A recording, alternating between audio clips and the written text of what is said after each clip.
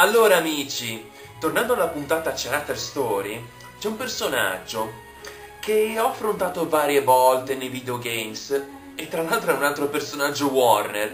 È un personaggio che mm, è molto strano perché lui non parla di solito, ma fa sempre dei strani versi, tipo Chi è che lo conosce? Se lo conoscete, allora avete vissuto una grandissima infanzia.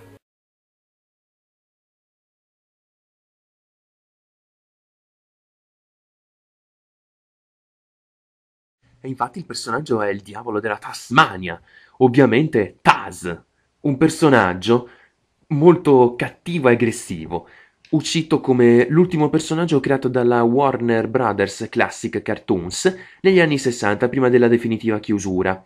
Ma ha mai avuto una vita videoludica? Sì. Il primo gioco dedicato a lui uscì negli ultimi giorni di vita dell'Atari 2600 chiamato semplicemente Taz nel 1983. Un gioco d'azione semplice che non conosce nessuno, e infatti dobbiamo aspettare l'inizio degli anni 90 per rivederlo nel gioco chiamato semplicemente Tasmania, un gioco creato in occasione della mitica serie televisiva doppiata qua in Italia da Pietro Baldi. Un cartone animato super e il gioco non era un granché, però infatti lo dobbiamo rivedere in uno dei suoi migliori giochi chiamato Taz in Escape from Mars, gioco d'azione rilasciato per Mega Drive, Master System e Game Gear. Titolo geniale e divertente ovviamente. Certo, esistono anche addirittura per Super Nintendo e Game Boy ovviamente, ma con l'arrivo della PlayStation uscì Bugs Bunny e Taz Time Busters.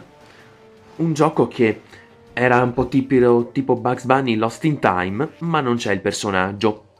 Poi nel 2002 compare come protagonista nel gioco Taz Wanted per PlayStation 2, GameCube e Xbox. Poi comparve addirittura come personaggio così secondario ma non utilizzabile in Bugs Bunny Crazy Castle 2 o Bugs Bunny Birthday Blowout o Looney Tunes Acme Arsenal o Looney Tunes Space Race o Bugs Bunny Crazy Castle 3 e anche 4 e anche nel tiny videoludico del film Looney Tunes Back in Action. Ma comparve anche addirittura mm, in altri videogames. Per esempio, lui comparve anche addirittura eh, nel videogame tie-in, tie-in videoludico di Scooby-Doo 2 Monsters Unleashed. Tutto qui. È quello che sappiamo su quanto riguarda la vita videoludica di Taz.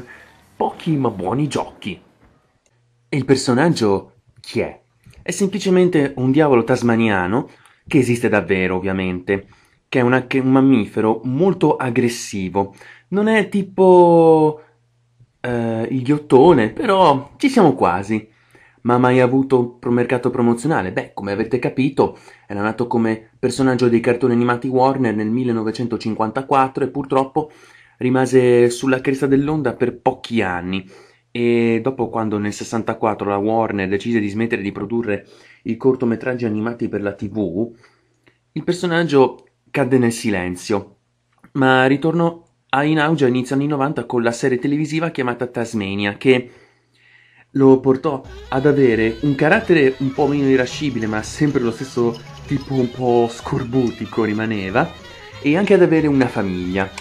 E poi, tra l'altro, fu anche addirittura messo in altri cartoni animati, ad esempio in tantissimi altri cartoni che riguardano i Looney Tunes. Un esempio? Looney Tunes Show, oppure addirittura nel film Space Jam, oppure Looney Tunes Back in Action. Lui c'è sempre, ma più come personaggio secondario che come protagonista. Poi oltre a questo hanno rilasciato moltissimi gadget per la scuola, che lui era sempre ai comprimari tipo Bugs Bunny e Silvestre Titti e tanti altri, e anche addirittura qualche action figure e pupazzi che li hanno messi in vendita anche qua in Italia. Insomma, non manca niente dedicato al personaggio che merita parecchio.